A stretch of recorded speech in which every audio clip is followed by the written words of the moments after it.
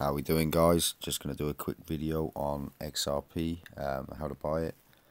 Uh, could be a big month for XRP. I think the 15th of April is a deadline for additional uh, discovery in the case with the SEC. And then there's another deadline on the 22nd. Um, but there is rumours that they could be after a trial by jury, which could delay the case even more. Um, so obviously, who knows really when it's going to end. Um, but at the moment, I'm looking at the price, and it's not looking bad. Even if um, I sort of get out around 83 cents, um, something like that. So we're just going to have a quick look at getting some of that. We're going to jump over to Binance from the home page. Going to want to click, click markets in the search bar at the top. XRP.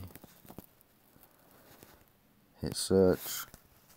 We're going to use USDT. So I'm going to hit XRP USDT. You can use any of the pairs available.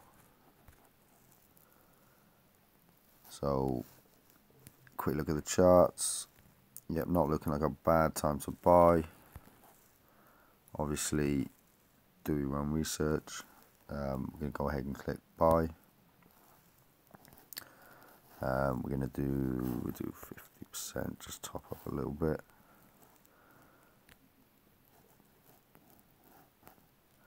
Okay we've got the option either do limit or market.